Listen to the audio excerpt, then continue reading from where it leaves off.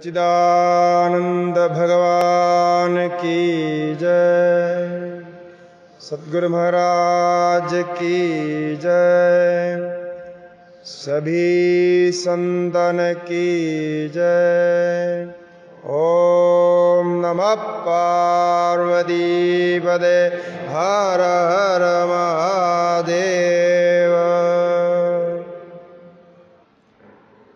श्री शिव महिमना स्तोत्र के कुछ श्लोकों पर विचार किया था। तत्व भाव से जितने श्लोकों में वर्णन है, विशेषकर उन श्लोकों को चयनित किया था।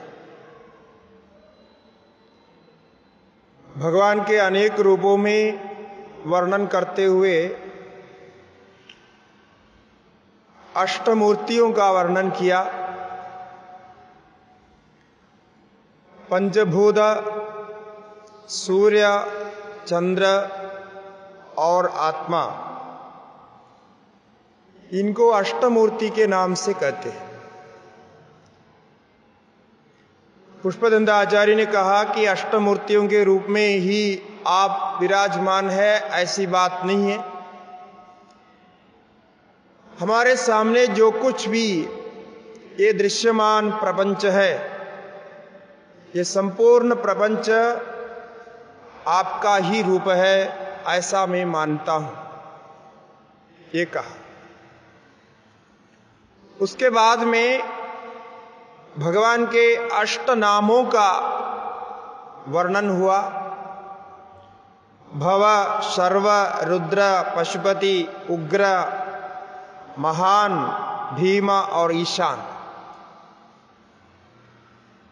इसमें सृष्टि से लेकर के जितने भी भाव वर्णित होते हैं शास्त्रों में, सभी कुछ आ गया। भगवान के रूप का वर्णन, सृष्टि के वर्णन के बिना नहीं हो सकता। है कोई भी आप ग्रंथ में देखते हैं तो सृष्टि वर्णन के साथ ही ईश्वर का लक्षण, भगवान का लक्षण वर्णित होता है। यहाँ तक ब्रह्म सूत्र में ब्रह्म का लक्षण सृष्टि के साथ ही वर्णित किया है। जन्माद्यस्य यत। जन्म आदि, जन्म स्थिति, प्रलय ये जिस तत्व से होते हैं, उस तत्व को ब्रह्म कहा। यदो वाजो निवर्तन्ते अप्राप्य मनसा सह। ऐसा ब्रह्म का रूप है, वाणी वहाँ नहीं पहुँचती है। किंतु लक्षण के द्वारा कहा जा सकता है तो लक्षण हमेशा सृष्टि में ही मिलता है। तो इस प्रकार भगवान के समग्र रूप को वर्णन करते हुए, अब नमस्कार वचन के साथ स्तुति को समाप्त करना चाहते हैं। तो नमस्कार वचन कहेंगे, उसके बाद समर्पण होगा, अपने पुष्पदंत आचार्य अपने शब्दों में समर्पण करेंगे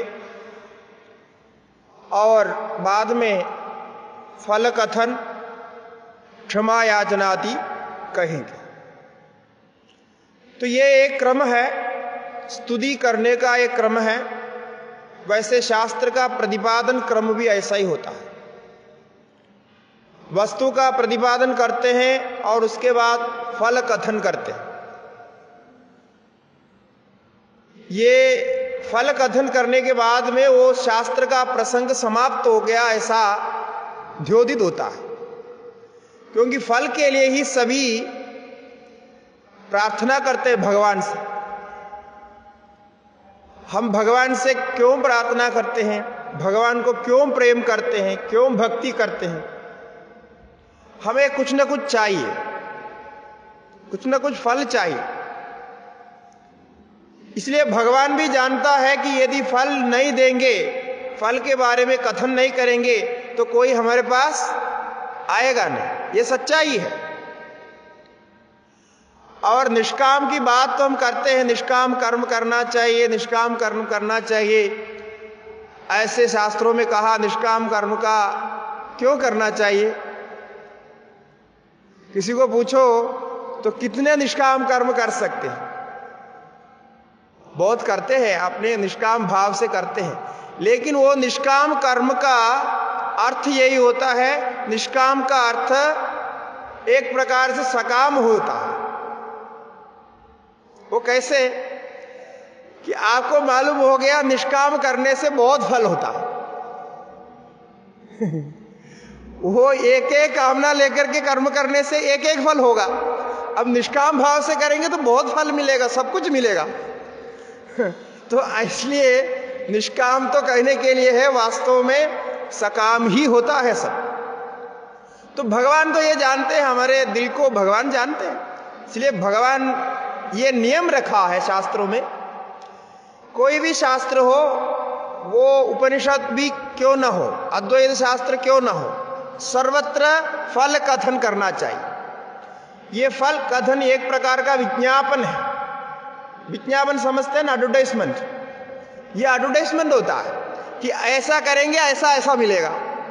तो ऐसा मिलेगा तो आप उसको करेंगे, नहीं तो नहीं करेंगे।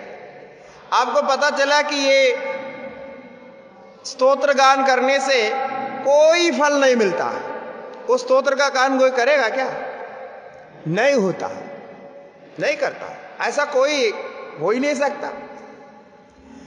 तो फल कथन आवश्यक होता है। इसलिए शास्त्र के अंत में यह नियम रखा कि फल कथन होने पर वो प्रसंग पूरा हो जाता एक विधान से आरंभ करता है, फल कथन करता है। हम कहते हैं ईश्वर से फल प्राप्त करते हैं। कर्तुराज्ञया प्राप्य दे फलम। ये आपने अभी श्रवण किया। ईश्वर से फल प्राप्त होता है, बात सही है। फल तो ईश्वर ही देते हैं, लेकिन हमें फल चाहिए। ईश्वर को हम निवेदन करते हैं। इस दृष्टि से इसको समापन करेंगे। तो उसके पहले नमस्कार वचन में उनतीसवां श्लोक। नमो नेदिष्ठाय प्रियदवदिष्ठाय च नमो। नमक्षोदिष्ठाय स्मरहरमहिष्ठाय च नमः। नमो वर्षिष्ठाय त्रिनयनयविष्ठाय च नमो। नमः सर्वस्मै ते तदिदमिति सर्वाय च नमः। सभी रूप में नमस्कार किया। नमः नेदिष्ठाय। नेदिष्ठ का अर्थ होता है सबसे निकट, सबसे पास में जो है, उसको नेदिष्ठ कहते हैं संस्कृत। में तो सबसे पास रहने वाले भगवान को नमस्कार है ऐसा कहा। तो सबसे पास कौन रहता है? प्रातः काल में हम चर्चा किए थे। आपके सबसे पास, सबसे निकट आप ही रहते हैं, आपकी आत्मा रहती है। इसलिए ज्ञानी लोग अपने स्वरूप से आत्म रूप से भगवान को जानते हैं। इसलिए आत्म रूप में भगवान को हम प्रणाम करते हैं। ज्ञानी तो अपने अंदर ही आत्मा का अनुभव करते हैं।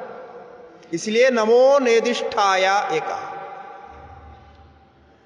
प्रियदव देविष्ठाय च नमः। और सबसे प्रिय है सबसे प्रियो में ही प्रिय है। ऐसे भगवान का रूप है। आप भगवान का निराकार भी प्रिय होता है, साकार भी प्रिय होता है। आत्मा के रूप में, परमात्मा के रूप में भी भगवान प्रिय होता है। हमको इस प्रपंच को सृजन करके हमारे लिए सभी भोग सुखों की व्यवस्था की है। इसलिए भी भगवान प्रिय होते हैं। हमारे जीवन में कोई भी सुख साधन कोई भी प्राप्त कराता है, वो हमारा प्रिय होता है। तो भगवान ने जब ये सब कुछ बना करके दिया आपके सामने तो भगवान तो अत्यंत प्रिय होगा ही।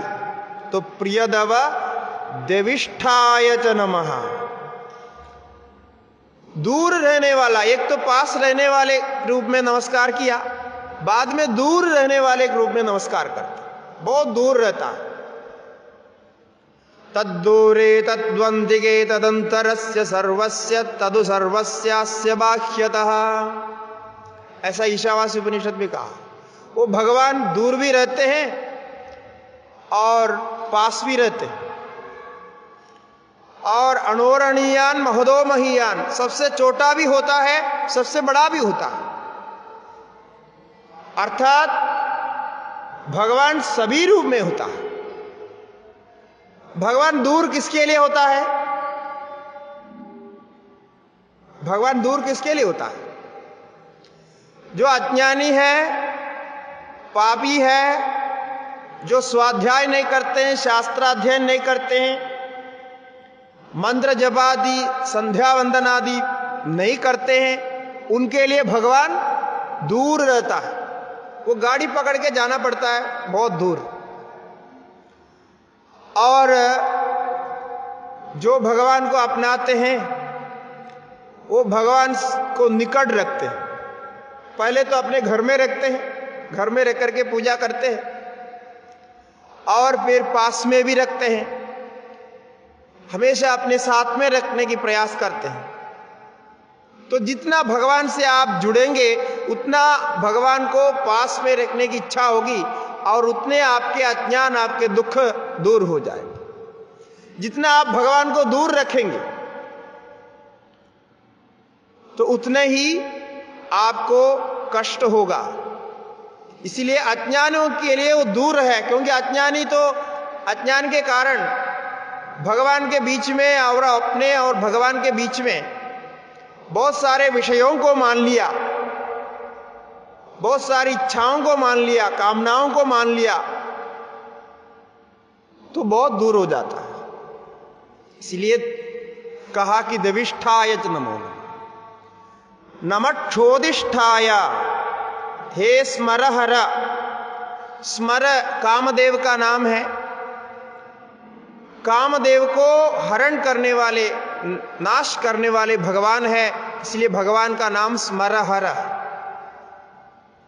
ये कामदेव का नाम स्मर है। स्मर का अर्थ होता है स्मरण। स्मरण मन क्या है? इच्छा।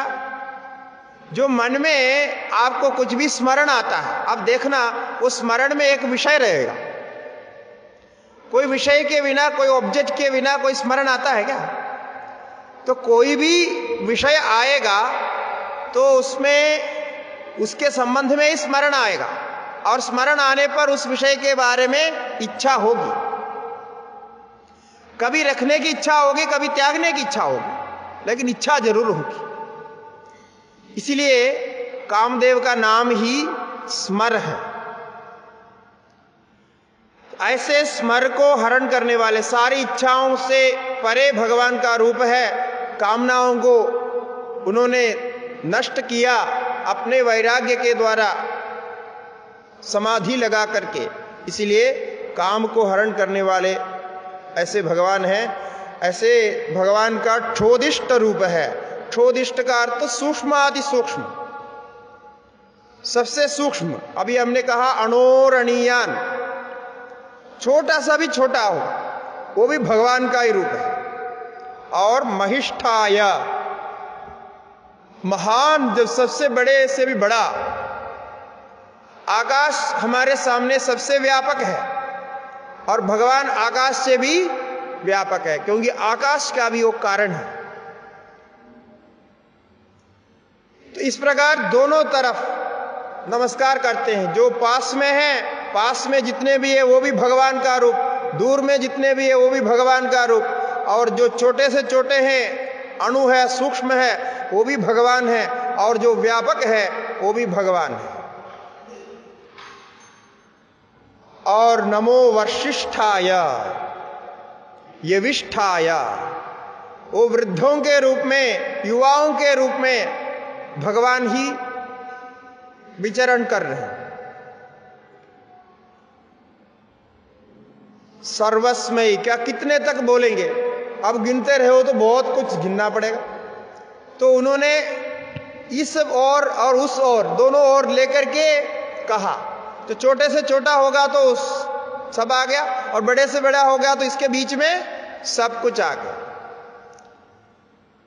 ऐसे संपूर्ण रूप में भगवान को नमस्कार करते हुए नम सर्वस्मयते तदिदमिति सर्वाय च नम।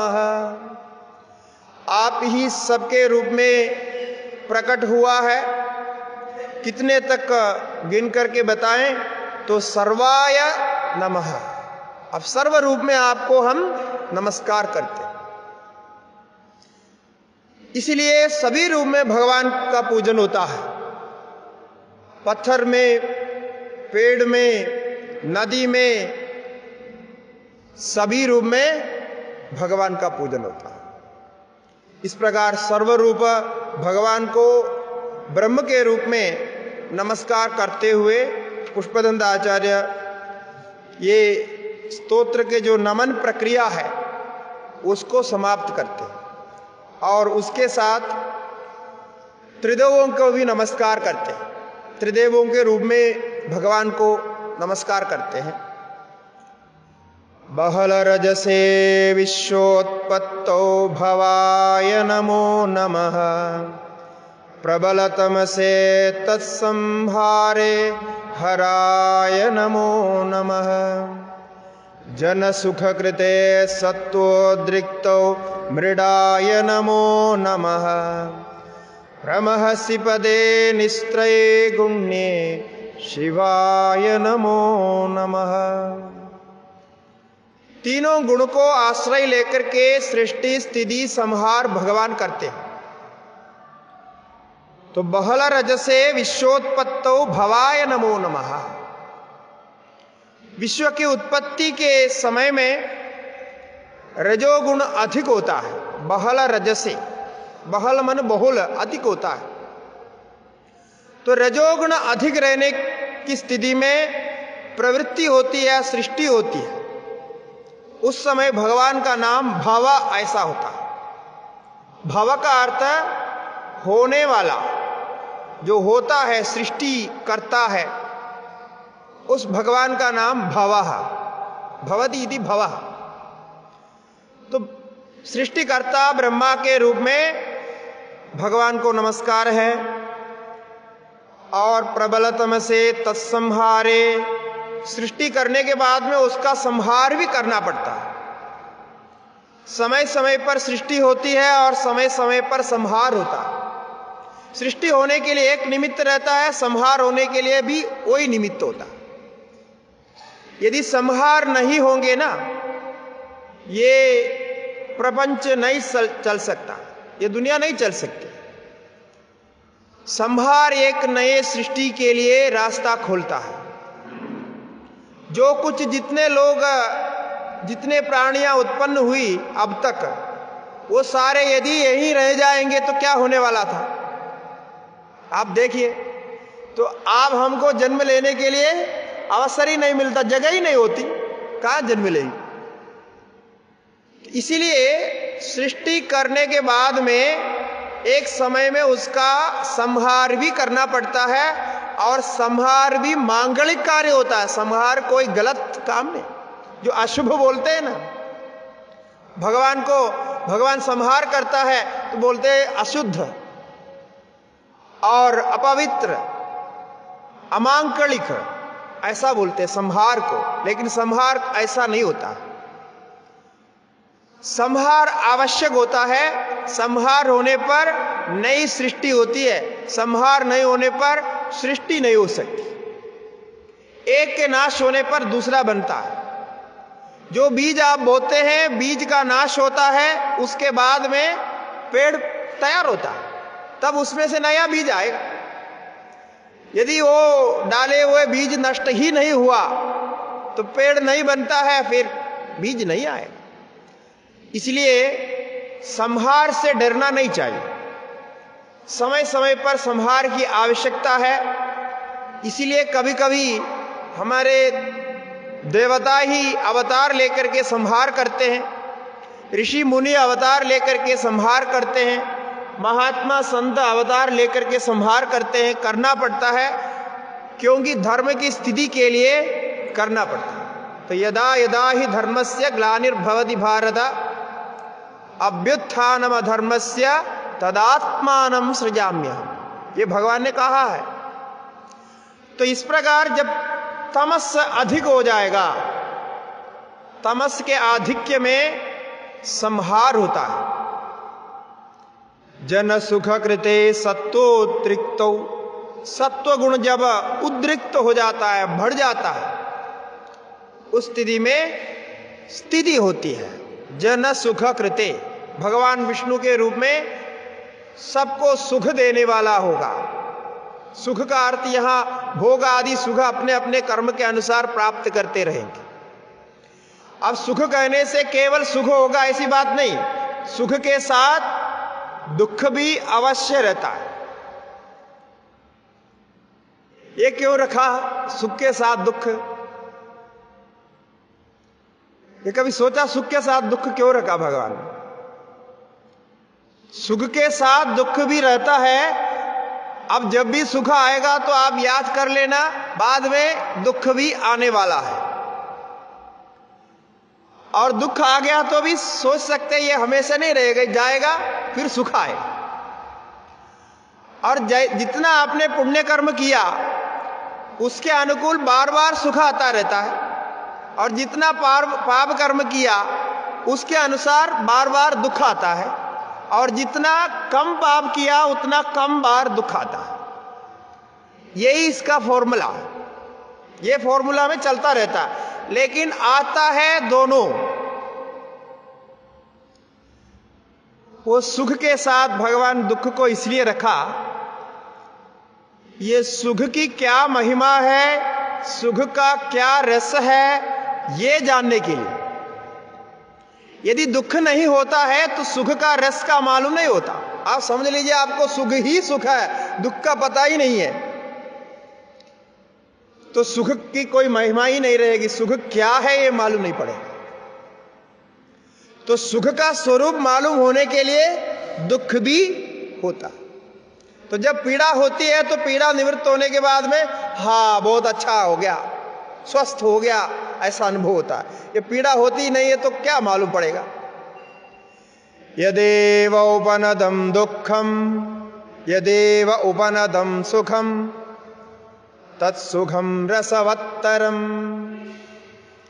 तो यदेव उपनदम दुखात तत्सुखम रसवत्तरम, ऐसा कहा। कि दुख के बाद में जो सुख आता है, वही अधिक रस देने वाला होता है। इसलिए सुख के साथ दुख भी रहेगा। तो सबको सुख देने के लिए सृष्टि बनाए, बोलने से सुख ही सुख होना चाहिए। कई लोग बोलते हैं, भगवान ऐसा क्यों नहीं किया? अब जब जगत को बना ही दिया, भगवान ने अपनी इच्छा से जगत को तैयार किया तो सब जगह सुख रखना चाहिए था, ये दुख क्यों रखा? अब दुख नहीं रखते होते तो आप भगवान का भजन नहीं करते। अब सोचो, दुख नहीं है तो कौन करने वाले भगवान के भजन? भगवान नहीं चाहिए। और जितना ज़्यादा सुख आपके जीवन में रहेगा, जितने परेशानियाँ कम रहेगी, उतना भगवान को आप कम याद करेंगे। इसीलिए दुख को भी रखा है, सुख को भी रखा है। तो सुख करे, सुख के अनुभव करते हुए दुख को भी अनुभव करें, तब भगवान को याद करें। और जितने हमारे संत हुए हैं, उनके जीवन आप देखिए, वो सुख से ज़्यादा दुख के अनुभव किए हैं, और उन्होंने दुख के बारे में ज़्यादा कहा। इसलिए ये साथ में रहते हैं। इस प्रकार स्थिति होती है। प्रमहसी पदे निस्त्रय गुण्य शिवाय नमो नमः। और वो उस व्यापक रूप में ये तीनों गुण से अतीत भी होता है। जहाँ सृष्टि नहीं, स्थिति नहीं, संहार नहीं, कुछ भी नहीं है, ऐसे स्थिति भी है भगवान की। इसी को तुरीय स्थिति, चतुर्थ स्थिति और परमात्मा की स्थिति बोलते ये जगत के संबंध में सृष्टि, स्थिति, संहार, ये सब है। जब जगत नहीं है, प्रपंच नहीं है तो ये सब नहीं। अब अगले श्लोक में पुष्पदंत आचार्य इस वाक्य पुष्पांजलि को समर्पित करते कृष्णवर्णदि चेद क्लेशवश्यम क्वचेतम। क्वच तव गुणसीमोल्लङ्घिनी शश्वदृद्धिः। इति चकितममन्दीकृत्य माँ भक्तिराधात्।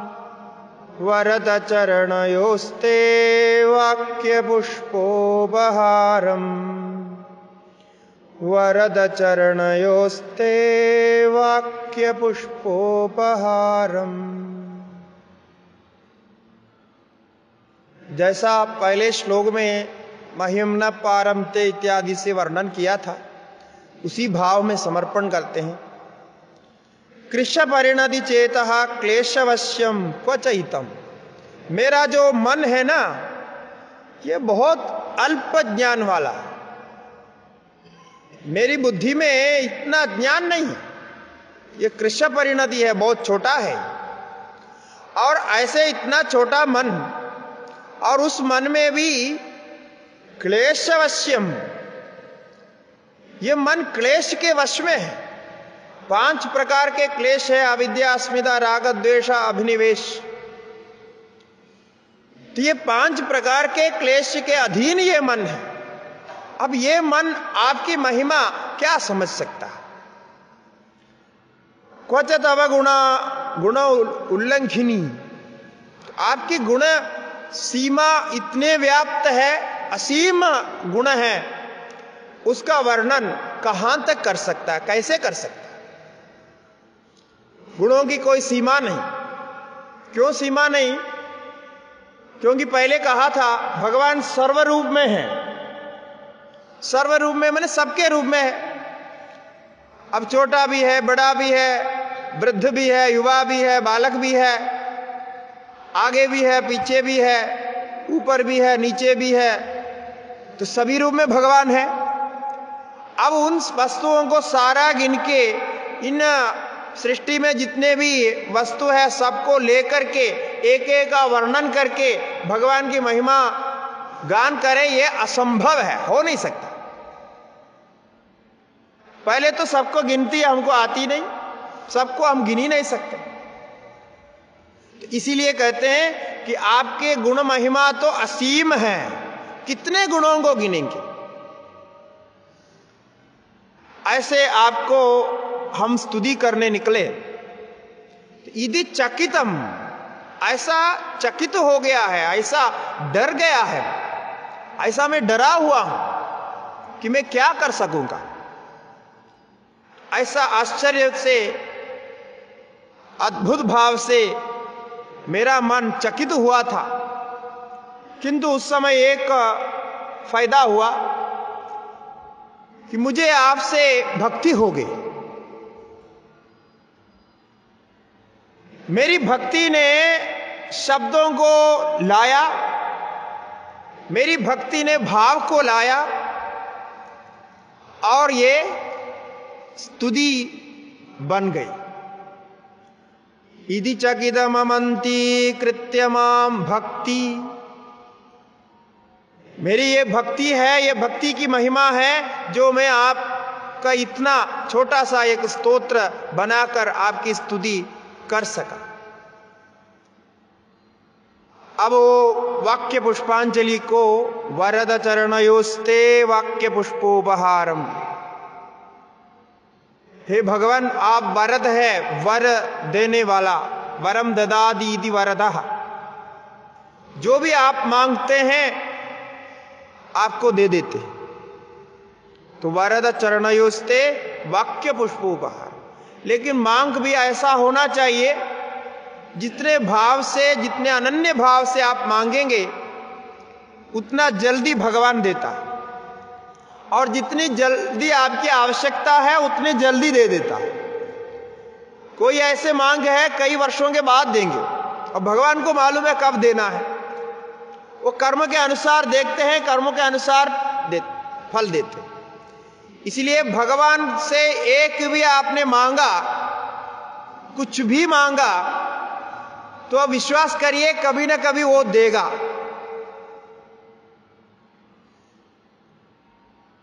ये ऐसा है, आप जो अच्छा मांगते हैं वो भी देते हैं। और कभी कभी आप अनजाने में बुरा मांगते हैं, वो भी देते हैं। वो कैसा होता है, आप दूसरे को कोई बुरा हो जाए, ऐसा मांगेंगे ना, वो पहले तो दूसरे को बुरा हो जाएगा, लेकिन उसके बाद घूम फिर करके वो आपके पास आएगा। क्योंकि आप बुरा भी सोचा है। तो आप जो भी सोचते हैं, उसका फल होता है, क्योंकि वो भगवान से मांग होता है। इसलिए अच्छा सोचें, बुरा सोचना छोड़ दें। क्योंकि बुरा सोचने के बाद घूम फिर करके आपके पास आएगा। आशीर्वाद देता है। तो भगवान जो करता है, हमारे कर्म के अनुसार करता है, और उसी के अनुसार हमारे भाव बनते हैं, उसी के अनुसार आगे जीवन होता है। तो इसीलिए वर को देने वाला जो भी माँगता है, सब आपको दे देता है। अब तक दिया है, आगे भी देता रहे। हमारे सब जीवन में बहुत ऐसा अनुभव है। अब मांग करके बैठ जाते हैं, फिर बाद में आ जाता है। आने के बाद में सोचते हैं, अरे, ये तो हमने कभी सोचा था ऐसा। और कभी कभी ऐसा आश्चर्य होता है, जहाँ वो कार्य होना संभव है, वहाँ भी ऐसा हो जाता है। अद्भुत हो जाता है, कहीं ना कहीं से आ जाता है। किसी के मन में कोई आता है, ऐसे हो जाता ऐसे बहुत सारे अनुभव, क्योंकि हम लोग तो ऐसे घूमते रहते और बाकी आजकल तो थोड़ी व्यवस्था हो रही है। पहले हम टिकट बुक करते हैं, व्यवस्था करते हैं, जाते हैं।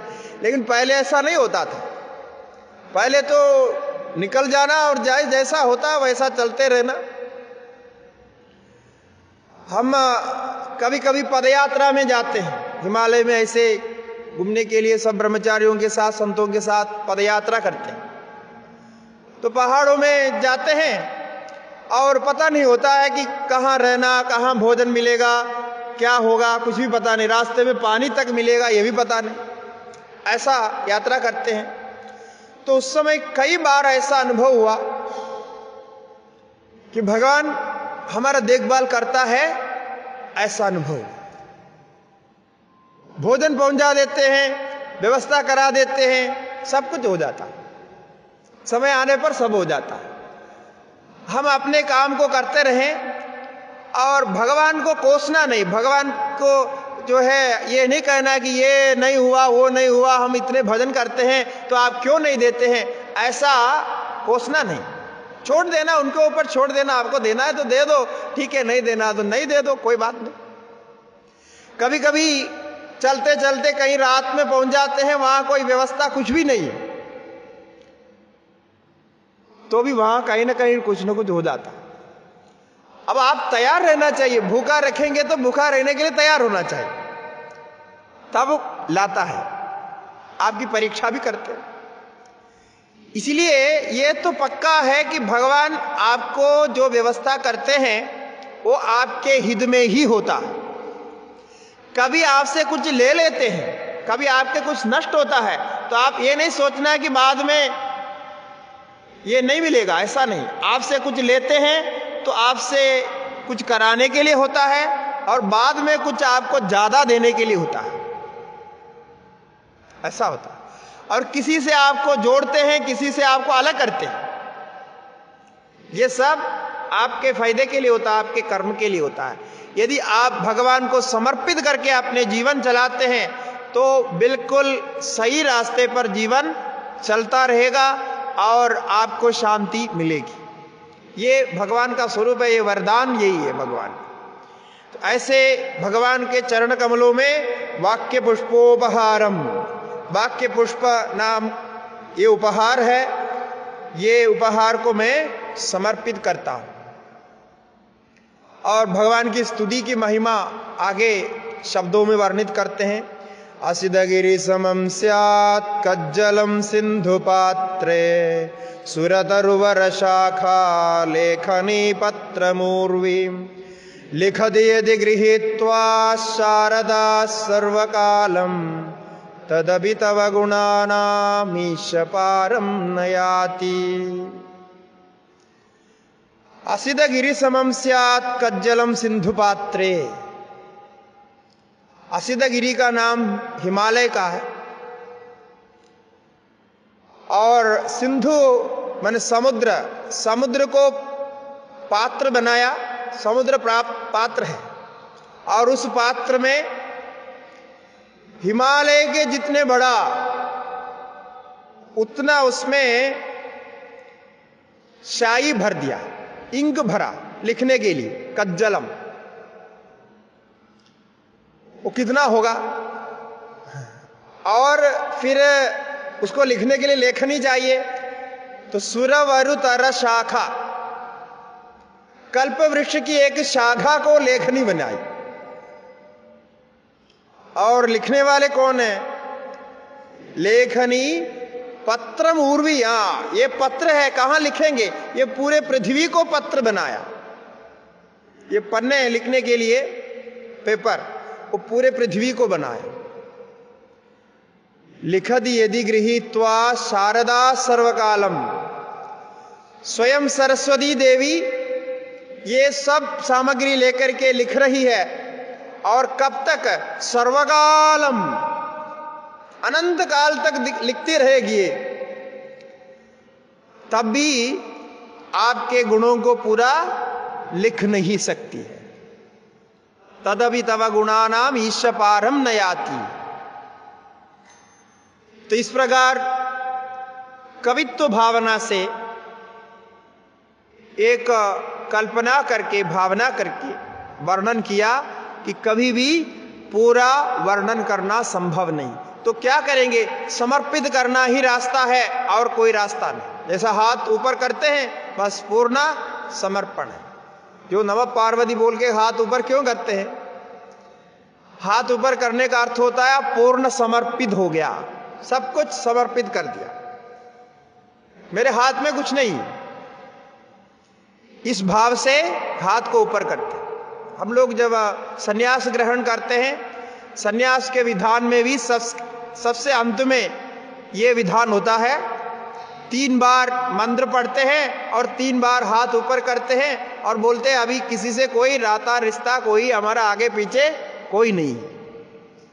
ऐसा फिर नंगा होकर के निकल जाते फिर उसके बाद गुरु जी वापस बुला करके एक वस्त्र दे देते हैं, फिर वो संन्यास हो जाता तो हाथ ऊपर करने का अर्थ, अब आपके पास कुछ नहीं है, आपके सामर्थ्य में कुछ नहीं है, सब कुछ भगवान को समर्पित कर दिया। तो जब हाथ ऊपर करते हैं तो इस भाव से करना चाहिए। तो इस प्रकार वर्णन को पूर्ण समर्पित कर दिया। और कहते हैं कि ये जो स्तोत्र किस प्रकार बनाया, कौन बनाया, उनका नाम ग्रहण करते हैं। असुर सुर मुनीन्द्रैरर्चिदस्येन्दुमौलेर् ग्रथित गुणमहिम्नो निर्गुणस्येश्वरस्य। सकलगणवरिष्ठ पुष्पदन्दाभिधानो। रुजिरमलघुवृत्ते स्तोत्रमेदच्चकार। सुर असुरों के द्वारा, मुनियों के द्वारा पूजित वंतित परमात्मा चंद्रमौली भगवान का नाम है। ऐसे भगवान के गुण महिमना को एक स्तोत्र में बाँध के रखा। एक कैसे भगवान है? निर्गुण भगवान। निर्गुण भगवान के गुण महिमा गा रहे ये पहले भी बताया था, निर्गुण भगवान के गुण महिमा, में गाने का साहस कर रहा हूँ, ऐसा पहले बोला था। सगल गण वरिष्ठ, किसने गाया ये? पुष्पदंदाभिधान। पुष्पदंद नाम के गंधर्व है। उस परम शिव, शिवजी के गणों में वरिष्ठ है, सकल गण वरिष्ठ। और रुजिरा मलघु वृत्ति, शिखरिणी नाम के वृत्त में यह शिव महिना स्तोत्र रजा गया। शिखरिणी नाम के एक सुंदर वृत्त है, जैसा आपने देखा, बहुत बढ़िया ढंग से इसको गाया जा सकता, अनेक रागों में गाया जा सकता। ऐसे छंद है।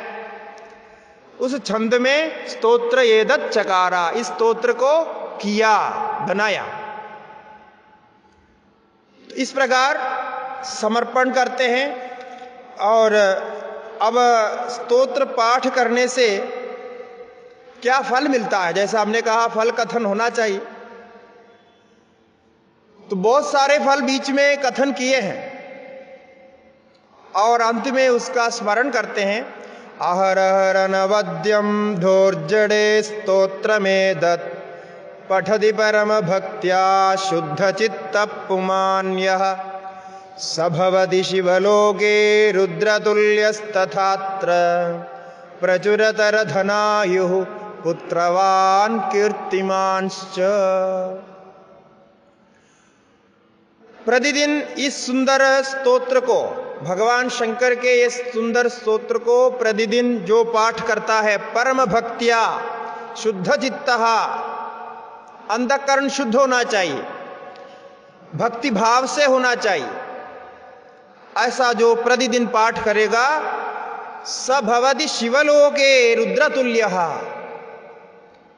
वो भगवान के लोक में पहुंचाएँगे, शिवलोक पहुंचाएँगे।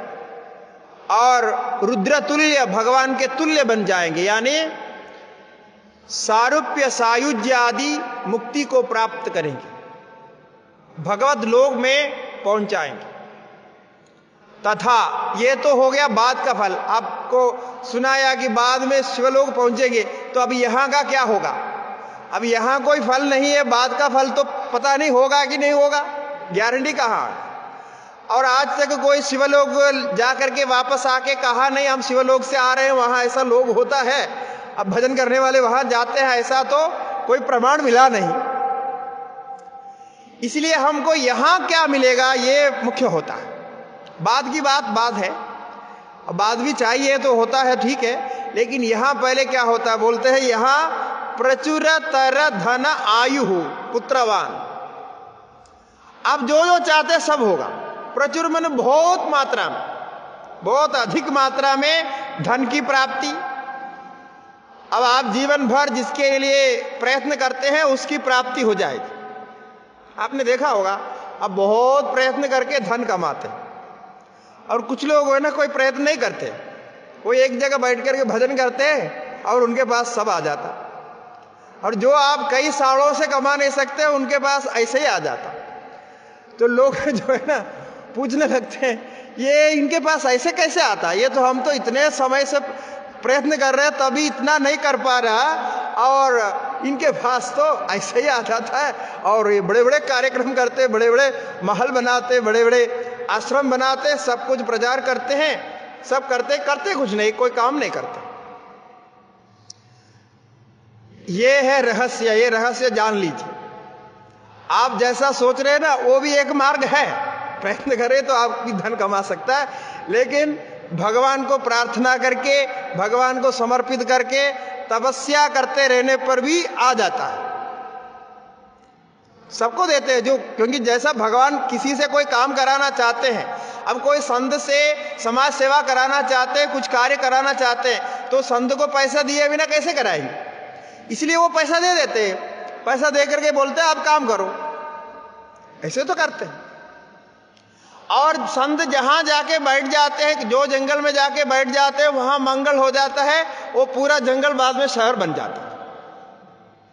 जब परम पूज्य गुरुदेव शिवान जी महाराज जी ऋषिकेश आए थे तो उस समय कहते हैं कि वहाँ पूरा जंगली जंगल था, कुछ संत लोग रहते थे वहाँ, स्वर्गाश्रम की तरफ़, गंगा के उस पार, और फिर बाद में स्वामी जी इस पार आए। 1937 में इस पार आए। तो पूरा जंगल था, वहाँ जाके तपस्या करते रहे। और तपस्या तो इतनी थी, इतनी कठिन तपस्या थी। कभी साल में एक दो बार ही पेट भर के भोजन मिलता था।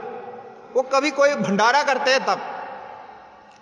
नहीं तो वो सुखी रोटी जो काली कमली क्षेत्र था, वहाँ सुखी रोटी जो मिलते हैं, उसको गंगा में डुबा करके, गंगा किनारे में बैठ करके भोजन करते थे।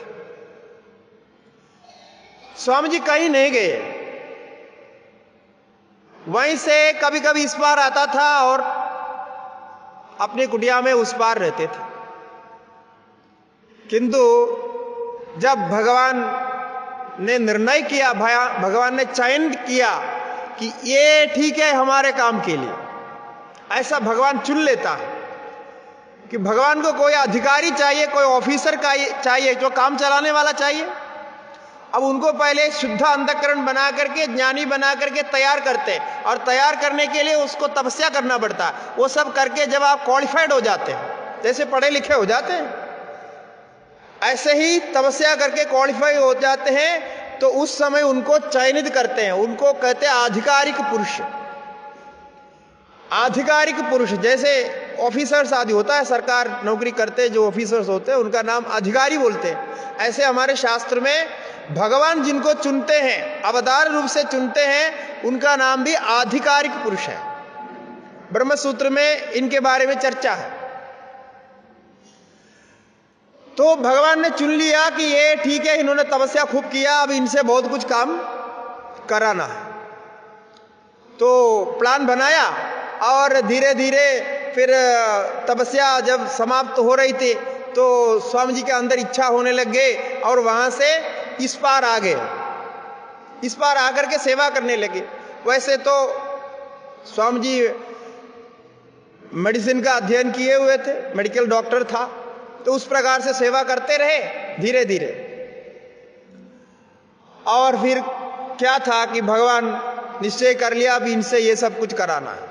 तो अब आप देखिए, सौ साल बाद अभी हम स्वामी जी परम पूज्य गुरुदेव जी के जो साक्षात शिष्य हैं, पूज्य कृष्णानंद जी महाराज जी, उनके शताब्दी मना रहे हैं। तो सौ साल तक जो आप भारत में आध्यात्मिक जगत को यदि देखेंगे तो सभी के साथ शिवान जी महाराज जी का संबंध है।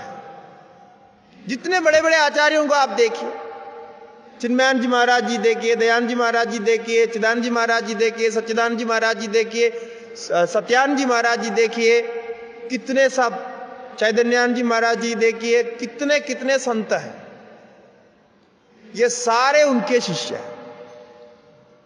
तो कितना बड़ा काम कराया देखिए। तो भगवान जब किसी को चुनते हैं, ऐसा काम होता है। और फिर वहाँ कोई प्लान करना नहीं होता, उनके पास सब कुछ पहुँच जाता है। स्वामी जी ऋषिकेश से प्रचार के लिए या काम करने के लिए ऐसा नहीं गया। कभी कभी इधर उधर यात्रा करते थे। और आपने शायद सुना होगा, ये डिवाइन लाइफ सोसाइटी है, दिव्य जीवन संघ। हमारे विद्या गुरु स्वामी जी है, पूज्य चैतन्यान जी महाराज जी। स्वामी जी एक कथा सुनाते थे। आपको पता है कि दिव्य जीवन संघ का आरंभ कब हुआ था, कैसे हुआ था? आप सुनकर के आश्चर्य में हो जाएँगे। कैसे संत लोगों का निर्णय, संत लोगों का कार्य कैसे होता है? और वो संतों की भावना ईश्वर में कैसे समर्पित होता है? और संत के मन में जो विचार आता है, वो सत्य कैसे होता कि स्वामी जी किसी के साथ उस जमाने में, ये शायद थर्टी एट में है सर थर्टी एट में तो हाँ थर्टी सिक्स में। हाँ नाइनटीन थर्टी सिक्स में स्वामी जी पंजाब की ओर यात्रा कर रहे थे। तो यात्रा में, ट्रेन में यात्रा कर रहे थे। तो कोई साथ में था, कोई बैठा हुआ था, कोई पढ़ा लिखा आदमी बैठा हुआ था। स्वामी जी अंग्रेज़ी में बात कर रहे थे। स्वामी जी को हिंदी इतनी नहीं आती थी। वो हिंदी कम ही बात करते थे। तो जो भी मिले, अंग्रेज़ी में बात करते थे। ऐसे यात्रा कर रहे थे। किसी भक्त के यहाँ या कोई कार्यक्रम में जा रहे थे। बात करते हुए स्वामी जी ऐसी ऐसी भावनाओं को बोले कि समाज की सेवा करना, ये करना, वो करना, सब बताया। ऐसे ऐसे हम कर रहे हैं ऋषिकेश में और ऋषिकेश के इर्द गिर्द। तब वो सज्जन जो बैठा हुआ था, उसने कहा कि ये आप जो कर रहे हैं ना, इसको एक व्यवस्थित रूप में करना चाहिए। शायद वो कोई ऑफिसर रहा होगा, कोई वकील रहा होगा, कोई पढ़ा लिखा आदमी था। उन्होंने कहा कि आप इसको एक संस्था बनाइए। आप जो कार्य कर रहे हैं, व्यवस्थित रूप से करिए, इसमें आपको फ़ायदा होता है और ज़्यादा लोगों तक आप पहुँच सकते हैं। ऐसा उन्होंने कहा। तो जैसा स्वामी जी ने सुना, तुरंत स्वामी जी ने बोला कि उसके लिए क्या करना चाहिए? बोला कि उसको लिए एक ट्रस्ट रजिस्टर करना चाहिए। एक ट्रस्ट का रजिस्ट्रेशन होना चाहिए। तो बोला कि वो कहाँ होता है? बोला वो बड़े बड़े शहर में सब जगह होते हैं। आप रजिस्टर कर सकते तो बोले कि अगले स्टेशन में कौन सा शहर आने वाला तो शायद पटियाला है। हा?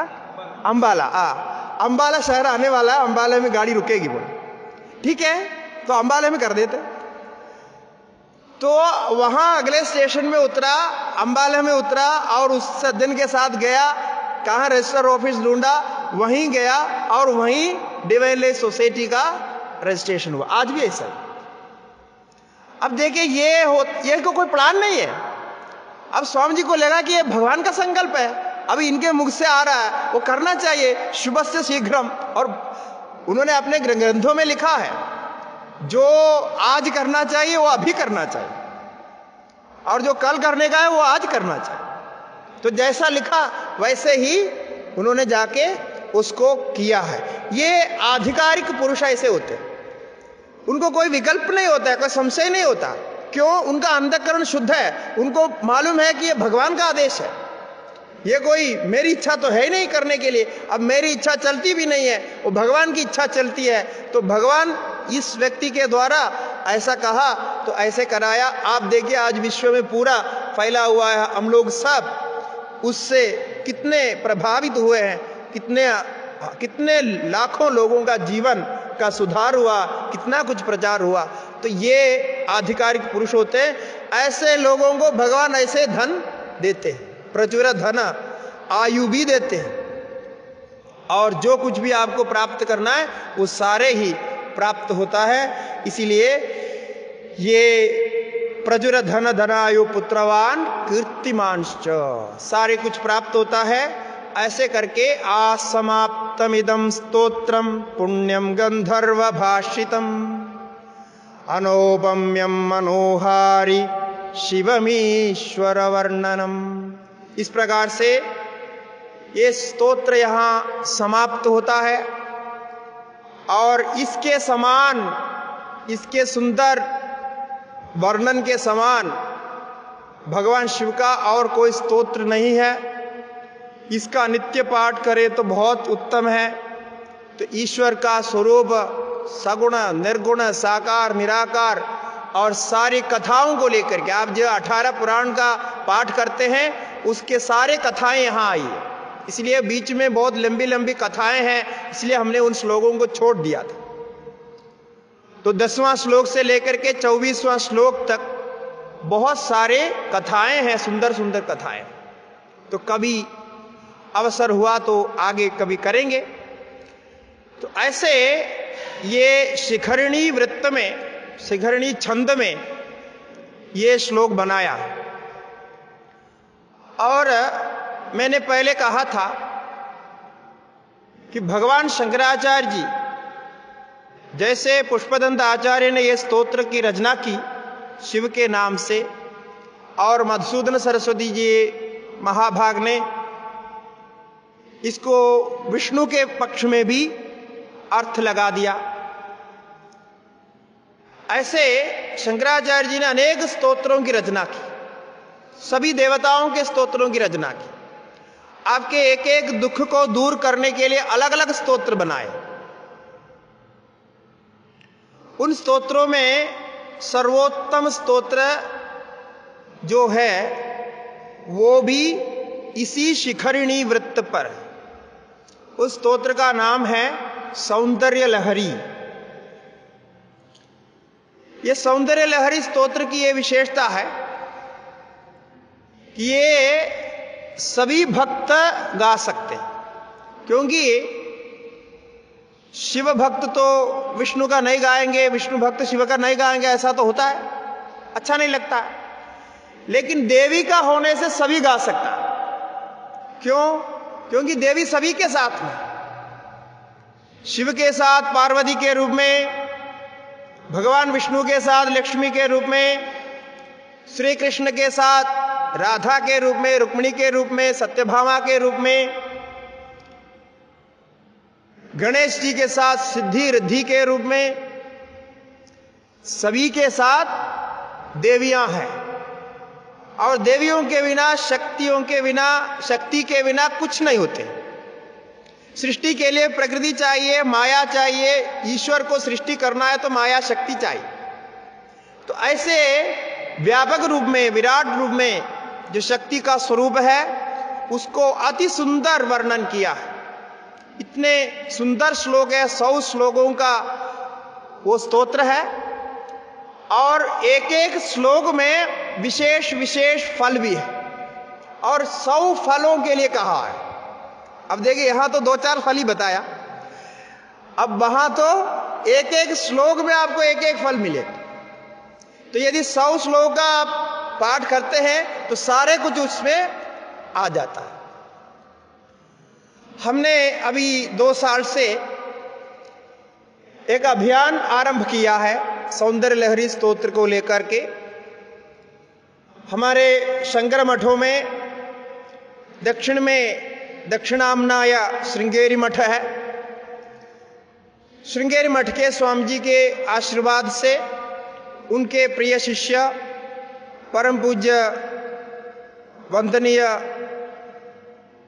श्री स्वामी शंकर भारत जी महाराज जी इस अभियान को पूरे देश में फैला रहे हैं। इसका कारण क्या है कि ये स्तोत्र इतना उत्तम होते हुए भी लोग प्रचार में नहीं आया। उसका कारण है कि सारे मठों में जितने बड़े बड़े मठ हैं, शंकराचार्य जी के मठ है और अन्य मठ है, सभी स्थानों में यह स्तोत्र का पाठ करते हैं, सभी वहाँ के पीठाधिपति, मठाधिपति इसके पाठ करते हैं, पूजा करते हैं और उनको सब कुछ होता है, आपको दिखाई दे रहा है। लेकिन वो जन सामान्य में प्रचार में नहीं आया था। और जो मठों से जुड़े हुए हैं, वो उनको यदि वो पूछते हैं तो दीक्षा देते हैं, मंत्र, ये स्तोत्र देते हैं। ऐसा था। तो उसको जन सामान्य में पहुँचाने के लिए लगभग दस सालों से यह अभियान चल रहा है। पहले दक्षिण में चला, अब उत्तर में भी अलग अलग राज्यों में हम ये अभियान को कर रहे हैं।